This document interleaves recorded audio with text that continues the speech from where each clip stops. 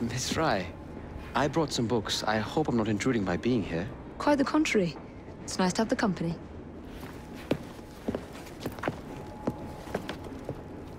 A herbarium? Are you collecting flowers for someone? Only myself. I'm told it's something of a British pastime. Did you know, they all have symbolic meanings? I had heard something of the sort. Of course you have. Unfortunately, I have no time to fill the book. I could collect some samples, if you would accept my help. I would appreciate that. Thank you, Miss Frye.